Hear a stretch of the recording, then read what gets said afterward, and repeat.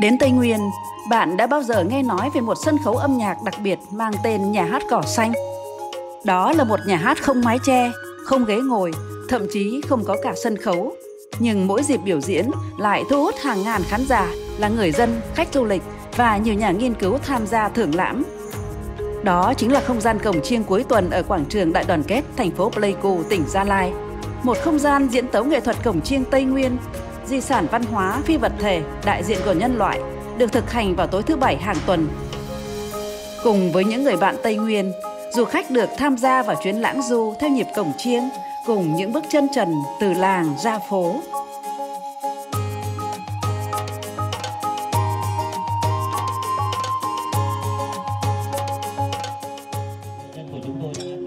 Nhà hát cỏ xanh cổng chiêng cuối tuần được Sở Văn hóa Thể thao và Du lịch tỉnh Gia Lai tổ chức lần đầu tiên vào cuối tháng 4 năm 2022 tại quảng trường Đại đoàn kết, thành phố Pleiku.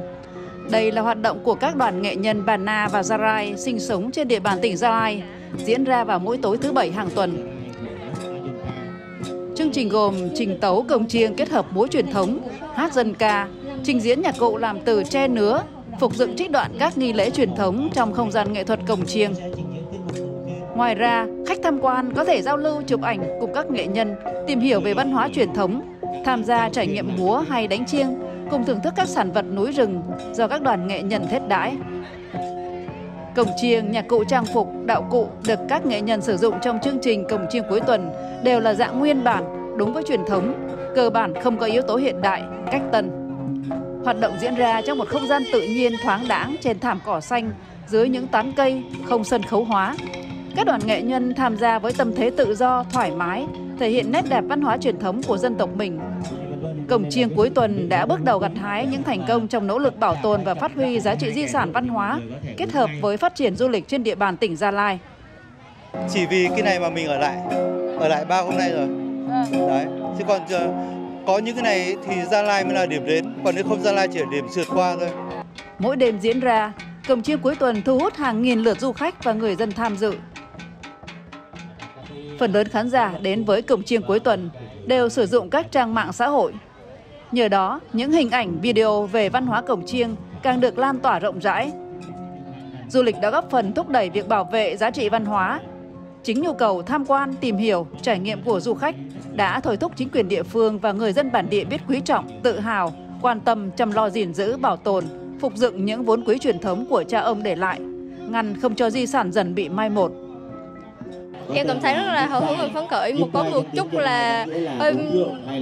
bờ ngỡ, hơi rung xí, nhưng mà hy vọng rằng là tất cả mọi người luôn chào đón và sẽ ở lại chung vui với ờ, đoàn ờ, nghệ nhân cồng chiên đến từ xã Eroso thị xã pa tỉnh Gia Lai này.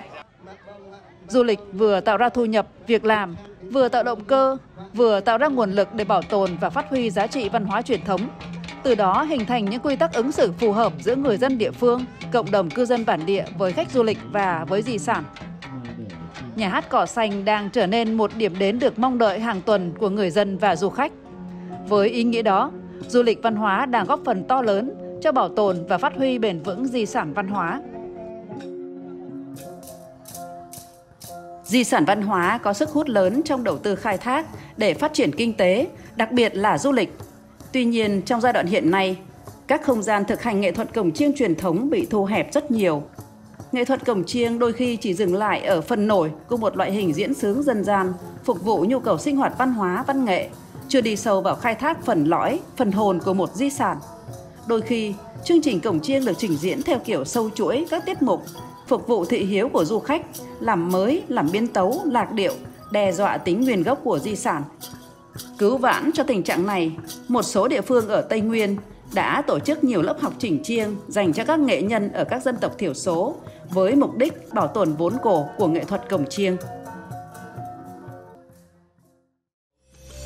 Lớp chỉnh chiêng dành cho các nghệ nhân Ban Na này là một hoạt động của nhiệm vụ tập huấn bồi dưỡng chuyên môn nghiệp vụ, truyền dạy văn hóa phi vật thể thuộc chương trình Mục tiêu Quốc gia Phát triển Kinh tế Xã hội vùng đồng bào dân tộc thiểu số và miền núi năm 2023 của tỉnh Gia Lai. Trong hoàn cảnh hiện nay, các nghệ nhân giỏi ngày càng già yếu và mất dần. Do đó, các nghệ nhân trẻ được tập huấn nhằm tạo ra những hạt nhân trong việc bảo tồn di sản, đặc biệt là kỹ năng chỉnh chiêng. Chúng ta biết là cồng chiêng không phải là bộ nhạc cụ biểu diễn để giải trí mà cồng chiêng là nhạc cụ nghi lễ luôn luôn nằm trong những lễ thức của đồng bào mà bây giờ tín ngưỡng thay đổi môi trường văn hóa xã hội thay đổi thì dần dần không gian đó bị thu hẹp lại và rất nhiều nơi đã biến mất chúng ta phải chấp nhận là các không gian đó tan vỡ và biến mất và chúng ta phải cố gắng giữ lại cái cốt lõi của nó đó chính là âm nhạc cồng chiêng tây nguyên và hiện nay ở Gia Lai thì tôi thấy là cái à, cồng chiêng cuối tuần thưởng thức và trải nghiệm của Sở Văn hóa tổ chức cái đấy là vô cùng hấp dẫn và quan trọng. Cồng chiêng cuối tuần đã tồn tại được hơn một năm nay thì nó chứng tỏ là gì? Sức hấp dẫn của âm nhạc cồng chiêng như Gia Lai, Con Tum là nơi à, cư trú của đồng bào Sê Đăng, Bana và Gia Lai là những tộc người sở hữu những dàn cồng chiêng biên chế kết hợp giữa chiêng và cồng lớn nhất trên Tây Nguyên. Thì rõ ràng đấy là một thế mạnh du lịch hấp dẫn. Chúng ta hoàn toàn có thể tổ chức festival âm nhạc cồng chiêng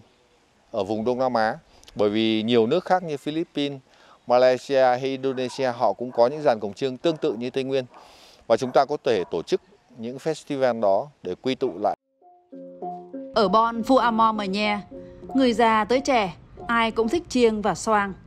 Dịp đi Pleiku biểu diễn vừa rồi là lần đầu tiên bà con có cơ hội trình diễn trước đông đảo du khách ở thành phố. Còn ngày thường, những buổi tập thế này hay diễn ra ở nhà cờ so vui và cờ so mang là những người trẻ nhưng rất say mê và thông thạo nghệ thuật cổng chiêng. Cờ so mang tình nguyện hỗ trợ bà con tập chiêng, xoang để chuẩn bị đón du khách về làng du lịch. Còn cờ so vui thì cùng gia đình bỏ số tiền lớn ra sưu tầm đầy đủ bộ chiêng tha cổ 15 chiếc để bà con tập luyện. Hy vọng là cái thứ nhất ở câu lạc bộ của em, ở đội cổng chiêng của em là có thể chơi hết mình.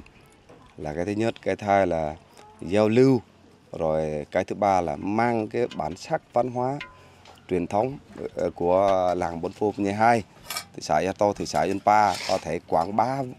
rồi với các khách du lịch. Em ờ, qua những làng khác em cũng thể hỏi mua lại những cái chiêng mà họ không sử dụng tới ờ, em lấy những cái bộ đó đắp vào cái, cái, cái những gì còn thiếu hụt. Bà con ở Bon Phu Amo Mờ Nhe đang rất hào hức đón chờ ngày Bon Bình trở thành làng du lịch cộng đồng. Nhà nhà sẽ có thêm việc làm và thu nhập từ du lịch. Và những bài chiêng cổ mất dấu trong rừng ma sẽ quay trở lại.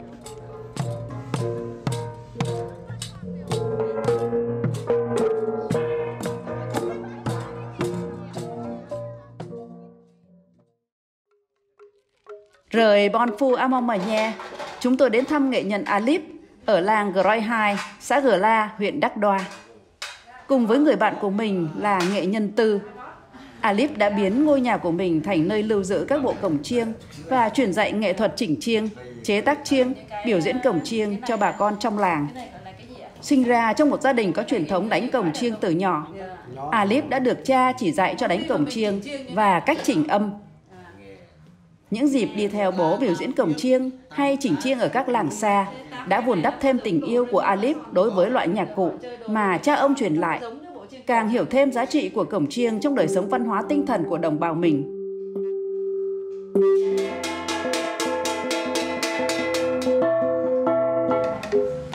Ngoài cổng chiêng, nghệ nhân Alip còn biết sử dụng nhiều loại nhạc cụ truyền thống như cờ ní, tờ rưng, cờ rồng bút, gong.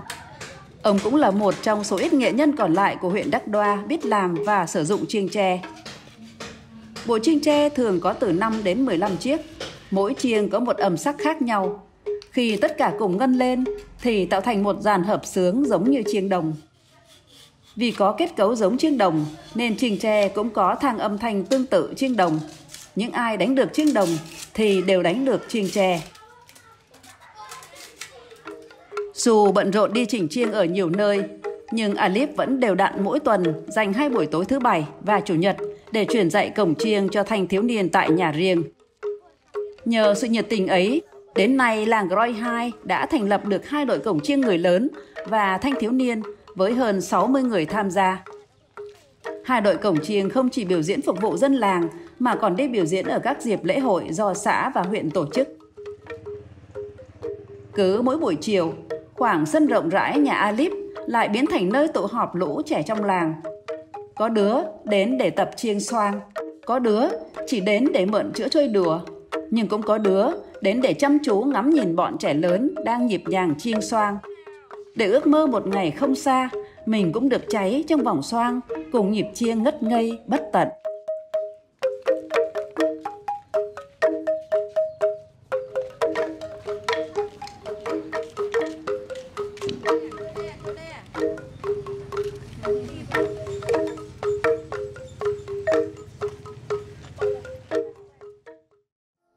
Rời khoảnh sân nhà nghệ nhân Alip, chúng tôi quay trở lại với quảng trường Đại đoàn kết ở thành phố Pleiku. Không gian sân khấu cỏ xanh lần này được dành cho Ngày hội Văn hóa các dân tộc tỉnh Gia Lai lần thứ ba năm 2024 với chủ đề Sức sống cội nguồn. Ngày hội lần này có nhiều hoạt động mới và độc đáo như tái hiện không gian sinh hoạt của các dân tộc, trình diễn trang phục các dân tộc, trình diễn đi cả kheo nghệ thuật, trình diễn nghệ thuật chỉnh chiêng, tổ chức các trò chơi dân gian, không gian trưng bày, giới thiệu sản phẩm đặc trưng, tiêu biểu của các địa phương và đêm hội giao lưu gặp gỡ các dân tộc.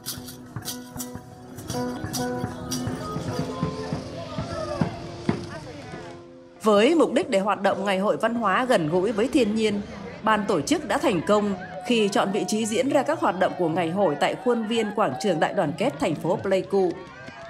Dưới tán thông, trên thảm cỏ, mỗi đoàn nghệ nhân được bố trí một không gian sinh hoạt để tự do trang trí bày biện khu vực của mình thật ấn tượng và thu hút. Ở đó, bà con tự sắp xếp trình diễn các hoạt động văn hóa nghệ thuật như hát dân ca, dân vũ, biểu diễn nhạc cụ dân tộc, trình diễn các nghề thủ công, truyền thống, tổ chức các trò chơi dân gian, giới thiệu ẩm thực đặc trưng của địa phương, giao lưu với các đoàn bạn và khán giả cùng du khách. Cái mục đích, cái ý nghĩa mà lớn nhất đó là chúng ta khơi dậy cái à, sự à, cái, cái khơi dậy trong cái mỗi người dân mỗi người đồng bào của mình là cái tinh thần bảo tồn phát huy các cái giá trị văn hóa truyền thống của chính cộng đồng của mình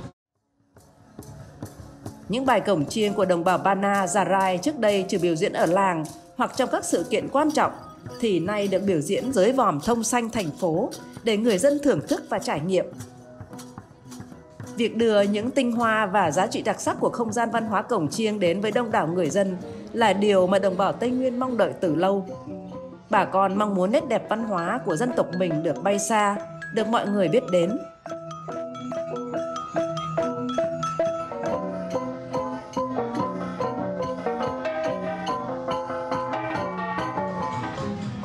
Những không gian làng thu nhỏ đã được tái hiện trong suốt thời gian diễn ra ngày hội, là điểm thu hút du khách cùng trải nghiệm các giá trị văn hóa đặc sắc của cộng đồng các dân tộc Gia Lai nói riêng và Việt Nam nói chung. Kể từ khi Ngày hội Văn hóa các dân tộc tỉnh Gia Lai lần thứ nhất năm 2022 được tổ chức, một số địa phương đã có sự thay đổi về quan điểm, phương thức hoạt động. Không còn là những cuộc thi dưới ánh đèn sân khấu trong hội trường mà đã mở ra không gian sinh hoạt văn hóa truyền thống gần gũi hơn với buôn làng, tạo không gian để bà con vui chơi, sinh hoạt. Đây là dịp để đồng bào các dân tộc gặp gỡ, giao lưu, tôn vinh và nâng cao ý thức gìn giữ, phát huy bản sắc văn hóa cộng đồng,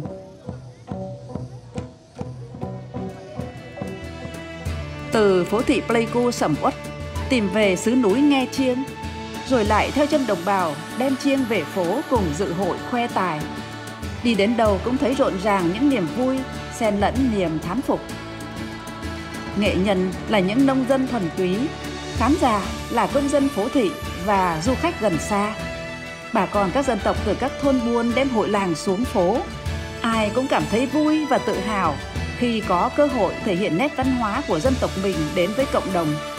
Đó cũng là cách để cộng đồng chung tay giữ gìn và lưu truyền vốn quý văn hóa cho mai sau.